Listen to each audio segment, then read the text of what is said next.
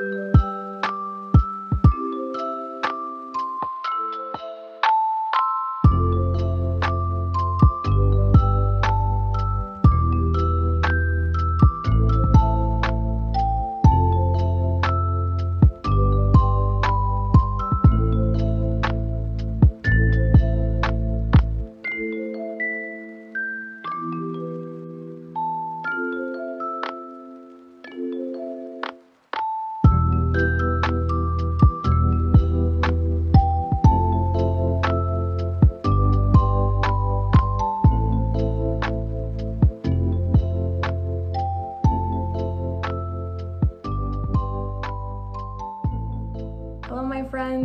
Isabella. Welcome back to my channel. And if you're new here, hi, thank you for clicking on this video. I hope you're enjoying. I hope you've had a lovely day so far. And I thought I would give you guys a few reading updates because quite a lot has happened. Quite a lot has been planned. Will things go as they have been planned? We have yet to see. the first piece of news that I have to give you guys is that I finished The Girl Who Drank the Moon by Lila Lee. I ended up giving this four out of five stars and I have to say that I really loved this book. I really enjoyed so many parts of it and I was so correct in the fact that I thought that this was going to make me feel whimsy and I was just going to fall in love with the beautiful writing and I was just going to like fall deeply in love with this story and these characters and I'm so happy that I was correct. There were actually some bits where it was very reminiscent of The Little Prince which is one of my favorite childhood books. There are some passages where I literally just quote The Little Prince because a lot of the ideas and a lot of the morals that we get from this book, I feel like are connected to what we learned from The Little Prince and I absolutely adored it. It made me feel so happy. I don't know, for some reason, just seeing little elements and recognizing some parts of one of my favorite books inside of another beautiful book is just very serendipitous. I just, I, had such a wonderful time reading this book and I mentioned this before in last week's reading vlog, but I actually haven't read that many middle grade books and I'm really happy that this is one of the first books that I read of middle grade. I'm not counting Harry Potter or Percy Jackson as middle grade because they're just not. they are not children's book, they are not middle grade books. So this was a wonderful introduction to middle grade and if you guys have any other recommendations for middle grade books, I am more than happy to receive them. I've actually been getting a lot of good recommendations from you guys um, about animes and books and K-dramas as well. And that just fills my heart with so much happiness because the fact that we've been able to find each other and like to find people that like the same things as us and the fact that we can connect and communicate and talk and bond over this is like amazing. I love it. Um, I finished, oh my God, okay. This isn't a reading update, but I just have to share. Um, I finished Yuri on Ice. I think I filmed myself watching the finale and I was a mess. Not because it's sad, not because it was devastating, but because it was so beautiful and so wonderful and my heart was just brimming with joy and happiness and I just literally I just I was so overwhelmed with how happy I was that I started crying um, yes. Um, um, I loved Yuri on Ice and I would really recommend it to you guys if you're looking for an anime that's not like action packed, if you're looking for like a little more chill, a bit more focused on emotions and human relationships, then Yuri on Ice is definitely for you. After I finished Yuri on Ice, I was so devastated and so happy that I needed to start another anime immediately um, a little bit more action-packed with a little bit more violence. Um, so I started one anime that you guys were recommending a lot, and it is Jujutsu Kaisen. I think I showed a bit of the clips of me starting it and like obsessing over it basically. Like it's so crazy that from episode one, I was already obsessed, I was addicted, and I watched nine episodes in one night. So the fact that I started a new anime that is so fantastic and so addicting has actually put like a little blip on my reading plans because I haven't read any of the books that I was planning to read this week. Um, but I mean, it's still early and I did finish one of the books that I wanted to read, so I'm not mad. I am having fun. I am living the life, if I do say so myself. Like, do, who's doing it like me? Absolutely nobody. And last night, um, I'm so sorry. I'm turning into a whole weeb and I love it. Um, there's no turning back for me. I spent over four hours playing Genshin Impact with one of my friends, Maya, and it was such a blast just like exploring the world and leveling up and killing monsters and helping people and like it's just it's so good and it's so healthy. You know what I mean? Like you release all of your stress. And why am I holding the girl who drank the moon when I'm talking about Genshin Impact? I'm sorry. But okay, sorry, I'm getting off topic. Um, reading plans for this week.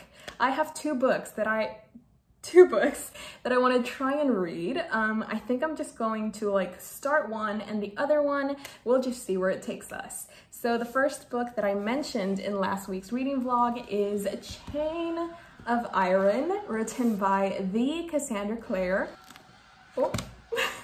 This is the most recent addition to her Shadowhunter Chronicles, and this follows the children of a lot of my favorite characters. I'm not, I don't really want to say anything because I don't want to spoil it for baby Shadowhunter fans. So I am very excited to read this, especially because I'm going to be reading it with one of my best friends called Lisi. You've probably seen her in the past couple of vlogs. And we already read the first chapter together, which was an experience. I loved it. I am not sure how much we're going to be reading every day but so far we've both been very busy. So we haven't read anything yet, but I think we're going to be starting today, like restarting today. And I am very excited. I want to know where my characters are, what's going to happen, what's the next tragedy going to be about, how am I going to survive this? I'm probably not. Like my feed is full of reading vlogs dedicated to Chain of Iron and everybody is crying their eyes out, which is exactly what I love about reading. Like, I love being devastated. I love living vicariously through these fictional characters, and I can't wait to get my heart broken. So this is the first book that I plan on starting this week. The next book that I want to try and read this week is The House in the Cerulean Sea by TJ Klune. This was sent to me by Nicole in her beautiful box of happiness, along with other very brilliant books. And I have heard so many beautiful things about this book, like the writing, they say it's probably going to destroy me and devastate me, which, you know, it's what I'm looking for at this moment. Um, so I am very excited to read this. I'm very excited to see how I feel about it. And I can't wait to share the experience with you guys. And also, it's beautiful. Like, I mean, you can never go wrong with beautiful books, except the books where the covers are better than the actual story, which are a lot of cases, unfortunately, but I'm pretty sure this is not one of those. So these are my reading plans for this week. We'll see how I fare um, especially since I'm watching Jujutsu Kaisen and I have a lot of episodes to catch up on. I also need to catch up on Attack on Titan and I also need to start another K-drama that just came out. Oh my god. I have so many plans and not enough time and I love that. Like it's making me so excited and it's making me so happy. So like, how are you guys? How are you doing? I hope you're doing wonderful. Thank you so, so much for all of the love and support that you've been giving me in my last few vlogs, especially in the last one. I feel like I just got like an overflowing amount of love and I will never be able to fully describe how much it means to me. So in every video, I will just repeat it. I love you guys so very much. I appreciate every single one of you and I hope you're having a wonderful day so far. And if you're not, I hope my vlog gives you a little bit of comfort for like the next half hour, I think. So drink water. I saw y'all thanking me for reminding you to drink water and hydrate yourself. Drinking water is so important. You don't even know how much your body needs it until you're like literally dying. so, okay, maybe not that extreme, but still drink water, my dudes. Like, it's legitness. Go outside for a little bit, like get a little vitamin D from the sun, you know, say hello to the clouds. I don't know, like just go outside, get some fresh air. You, it's just like fresh air does wonders to the soul. So like you should go out, um, maybe take pictures of the sky. I don't know, like just live in the moment, you know what I mean? Like get off your screen, take a walk, do something. um, so I hope you guys enjoy this week's reading vlog. Um, again, thank you so much. Like I get, every time that I think of all of the comments that you guys sent in, I get so happy and so emo because I have such a wonderful time responding to each and every one of you guys. I feel like we all have a connection with each other and that just feels so special. Like that bond is irreplaceable and before I start crying, I'm going to stop. So hope you're having an amazing day. I'll talk to you guys later. Bye.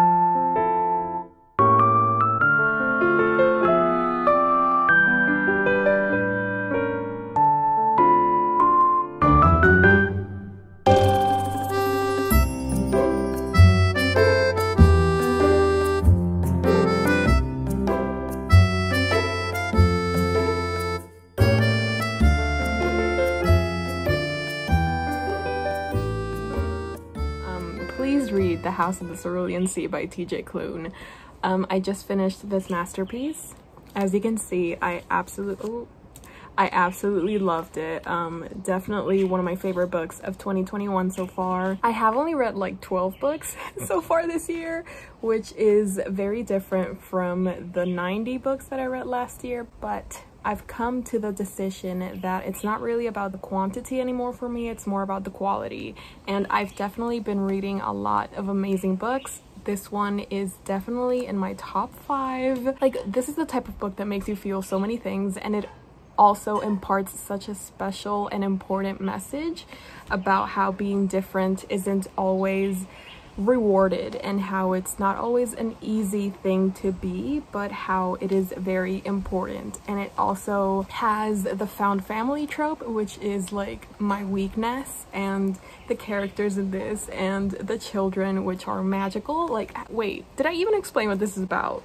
How do you even go about explaining what the house in the cerulean sea is? Basically magical beings exist all types. Like there's yeti's shapeshifters there's um, gnomes, there's phoenixes, there's like all types of magical beings. So the children live in orphanages because they are unfit to live in normal society and these orphanages are like specially made for them and our main character called Linus Baker, he is a caseworker and sometimes he gets to visit these orphanages just to make sure that everything is running smoothly, the children aren't being mistreated, even though a lot of the times they are, which is terrible, like children being mistreated. We are not here for that. Linus Baker gets assigned to this very special case which is this house, this orphanage right over here.